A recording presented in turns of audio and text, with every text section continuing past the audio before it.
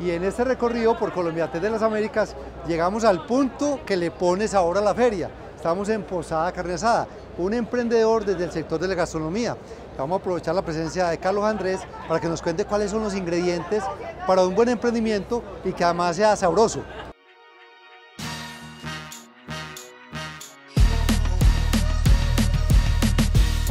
Bueno, Juan, muchas gracias por la invitación.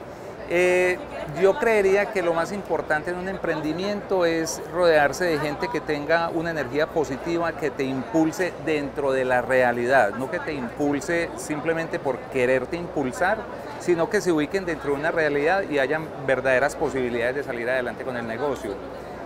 Y hay que ponerle corazón, mucho corazón. Usted puede darle muchas recetas a muchas personas para que hagan algo bueno, pero si esa persona no le pone este sazón de acá, esa receta probablemente no vaya a ser diferente.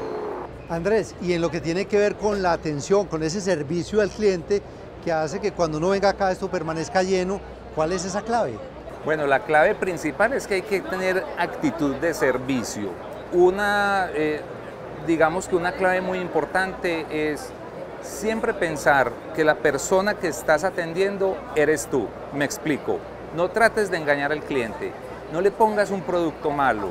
No le disfraces nada.